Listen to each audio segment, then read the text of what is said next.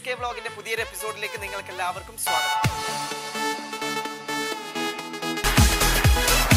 മുന്നേറിയിരിക്കുന്നത് അതൊക്കെ എന്തായാലും രണ്ടാമത്തെ